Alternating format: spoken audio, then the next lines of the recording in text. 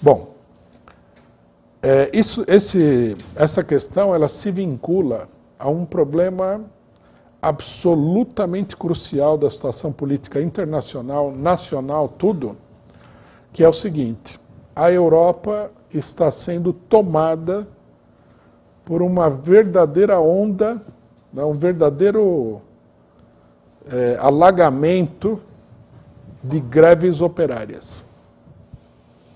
Né? As greves operárias estão explodindo por todos os lados na Europa. Isso daqui é uma coisa que nós já havíamos é, discutido aqui, que é o seguinte: é, uma crise inflacionária vai trazer a classe operária de volta para o primeiro, primeiro plano da luta política internacional. E isso efetivamente está acontecendo. Né?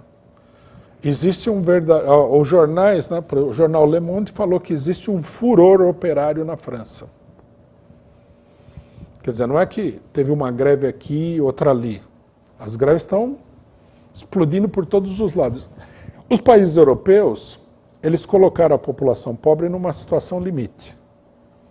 E com a, infla, com a inflação, né, o copo transbordou. Se eles não tomarem uma atitude para frear a inflação, que ninguém sabe qual é, né? Olhando o jornal, ninguém fala, faça isso que a inflação vai acabar. É, se eles não conseguirem frear a inflação, nós vamos ter aí uma crise política gigantesca em todos os países europeus.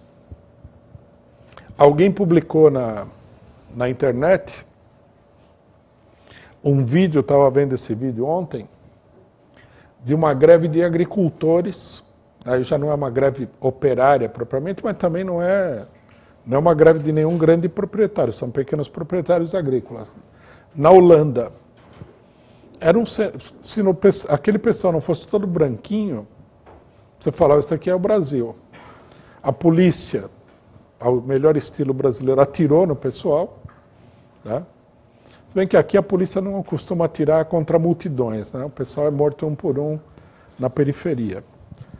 É, usam bala de borracha e tal. A polícia atirou contra os agricultores, os agricultores foram para cima da polícia. E o vídeo mostrava o pessoal dando martelada no carro da polícia, jogando pedra, né?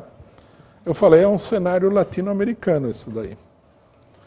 É, e isso daí é na Holanda, não é que né, se fosse em Portugal, você fala é Europa, mas né, fosse Grécia, fosse na Polônia, mas não, e é Holanda, é um dos países com maior nível de vida da Europa inteira.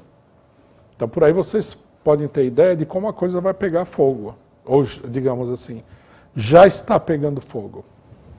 Por que, que isso aqui é importante? Porque, na realidade, a única saída né, da, da crise econômica que seja favorável né, para os trabalhadores, que não seja, por exemplo, a saída da extrema-direita que vem capitalizando na, é, na Europa, nos Estados Unidos, em vários países, o descontentamento popular, é a própria mobilização operária.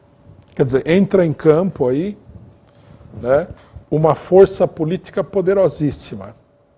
Isso vai fazer com que os sindicatos comecem a se mexer, se, se comecem a se reorganizar. Né? Provavelmente, nesse processo, vai haver uma renovação do aparelho sindical né, aqueles, aqueles burocratas que estão acostumados a não fazer absolutamente nada, vão começar a ser substituídos por pessoas jovens mais irritadas, mais radicalizadas, que vão renovar o movimento operário. Isso pode abrir a perspectiva, inclusive, né, da construção de partidos é, operários que sejam verdadeiramente socialistas, comunistas, é, nos principais países do mundo. Quer dizer, é uma, nós estamos aqui num ponto de inflexão decisivo. Né?